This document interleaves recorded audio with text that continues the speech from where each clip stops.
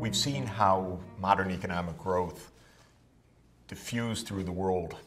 It started in England, it spread out like the ripples uh, of uh, waves uh, on a lake surface.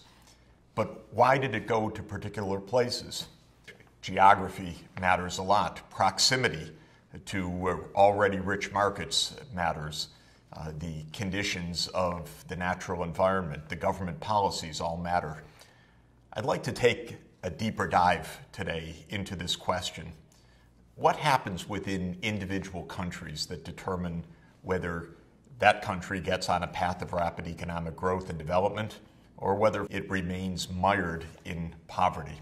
There are lots of reasons uh, that are good explanations for why some countries advance and others get stuck. But what's true is that those good reasons don't all apply to all places. The real art of economic development is to make a good judgment. What's happening in this particular place? Not on average, but if there's a country that is facing an economic crisis, if your country is stuck in poverty uh, or stuck in instability, what needs to be done here and now? How do we make a diagnosis? Well, I, I was lucky uh, in, in uh, my own work in thinking about this because I got to watch close up a wonderful diagnostician do her work. That's my wife. She's a clinical pediatrician. And when she sees a young child with a fever, she doesn't say, Oh, that's it. I know what that is. All fevers are the same. Of course, she does something completely different her training and knowledge and experience shows her as a trained clinical medical doctor that there could be a thousand reasons for that fever. And in order to give a good prescription, there has to be a good diagnosis. And what the doctors call it is differential diagnosis. Well, I've come to the view that in economic development and in sustainable development more generally, we also need to have a clinical approach. In my book, The End of Poverty, I called it clinical economics. And I said the role of a good practicing clinical economist is to make a differential diagnosis, just like a good medical doctor. And the fact of the matter is that as medical doctors go through their checklist, what could be the cause of that fever? Uh, is that an infection? Uh, is it something more serious?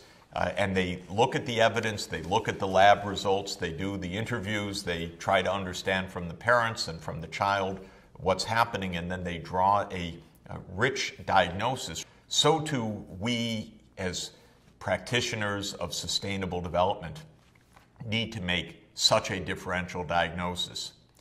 On my checklist, as I uh, presented it in The End of Poverty, I suggested seven items on that checklist, each with many categories to work through.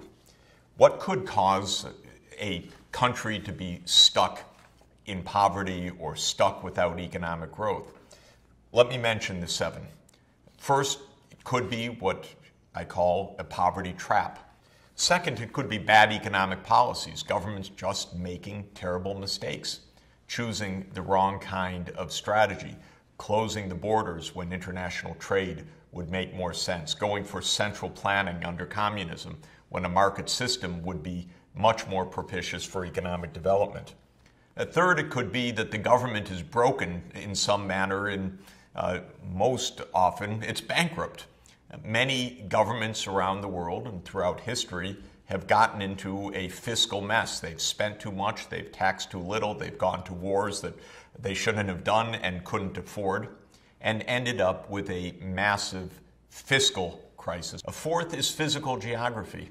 Maybe the country is stuck because it's landlocked, high in the mountains, facing a terrible disease burden, malaria, for example you might say, well, if it's geography, what can you do about it? You can't change your geography. But the fact of the matter is, you can change the consequences of your geography. If a country is landlocked, it needs to think about transport and the kinds of industries that it's promoting. if it has a heavy disease burden like malaria because of its tropical environment, it has to think about specific disease control. So while geography might not change, the results of geography are often subject to human resolution.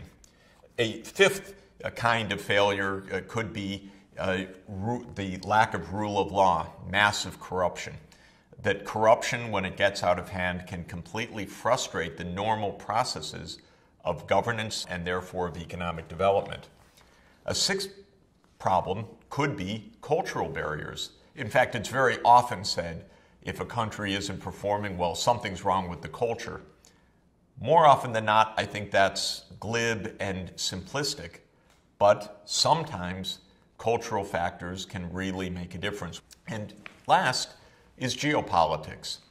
By geopolitics, I mean a country's relations with its neighbors, with its foes, with its allies, because countries can suffer geopolitically. Of course, countries that fell under imperial domination in the middle of the 19th century and were under colonial rule for a century or more are powerful examples of what geopolitics can do to frustrate economic development.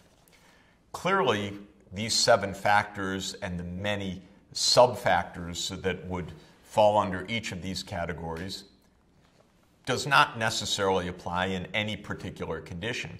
It's a checklist for a diagnosis to ask what in particular counts in this particular place from the point of view of the strategy of economic development or of sustainable development more generally.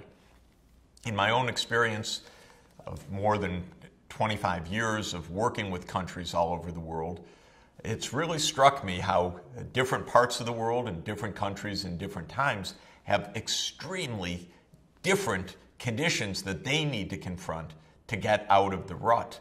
And the idea of always prescribing the same medicine uh, for a doctor would be a disaster. The same is true uh, for an economy. I worked in Bolivia in the middle of the 1980s. That country had a hyperinflation. Uh, prices were rising thousands of percent per year. When you did the differential diagnosis, you could see that the government was broke. The government was printing money to pay its bills. And therefore, what was required most of all was to get the budget under control in short order so that this fever of hyperinflation could be broken. That involved, in part, canceling some of the debts that Bolivia's government owed to international banks. That was part of the solution. Maybe in other countries that wouldn't have been necessary, but in Bolivia's case it was.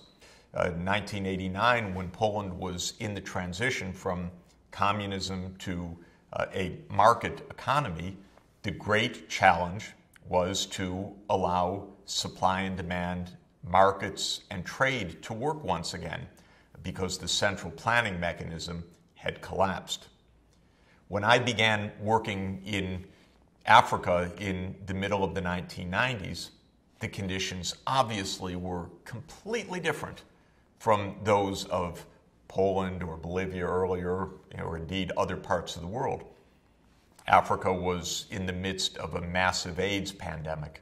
It was in the midst of a massive resurgence of malaria many places were so poor that the most basic infrastructure, roads, power, water, and sanitation, did not even exist. I found some economic officials from international institutions prescribing exactly the same medicine that they had said uh, was needed in Poland or in other places. And it amazed me do a differential diagnosis and you see the problems in Tanzania or Ghana or Mali are completely different from those in Poland. Do expect that these conditions will differ across history within a country and certainly at any time across countries of the world. Now, one of those possible diagnoses is a poverty trap.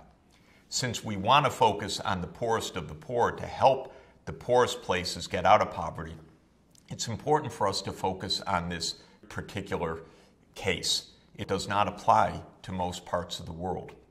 The idea of a poverty trap is rather straightforward, even if it's sometimes overlooked. The idea is that any economy in the 21st century needs certain basics in order to be able to achieve economic development. It needs the basics of roads, of ports for trade, of electricity, of safe water and sanitation for the people, uh, of access to basic health care so that the population is not burdened massively by disease, and of education for children.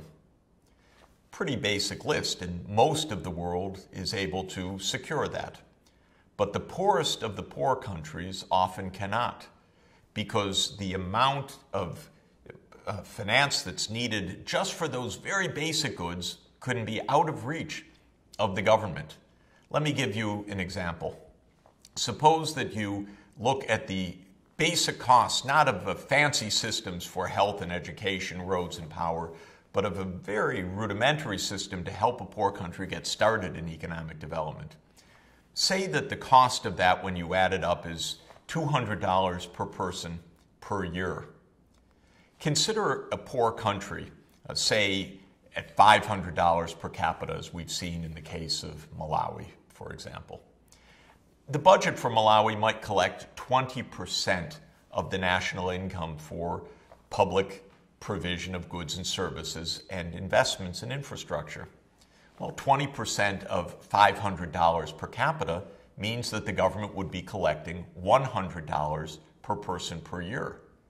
But we just said that the minimum needs are $200 per person per year. So the government of Malawi may be staffed with wonderful people and they know just what to do. They've made a great differential diagnosis. They even have plans on the shelf for schools, for clinics, for roads, for power, for water and sanitation. But how are they going to pay for it? They are trapped in poverty because they know what to do, they know the investments that need to be made, but they don't have the money for it. There are two ways to break the poverty trap. One way is to borrow that extra money and then have the economic growth that results help to pay off in the future. If global capital markets worked well, that would be a remedy. But private markets and public lenders say, well, that's a poor country. That's too much of a credit risk. We can't lend to it, even if our loans would trigger the development that would allow them to repay. So the capital markets solution doesn't work all that well. The alternative is to get a boost of help. A short term boost, sometimes called aid or sometimes called official development assistance, so that a country like Malawi could fight malaria or build the classrooms for its kids. This is a pretty proven method, and it really works. During the last uh, dozen years or so, as the world has been organized to help countries in extreme poverty fight extreme poverty, there have been special institutions set up, like the Global Fund to fight AIDS, TB, and malaria.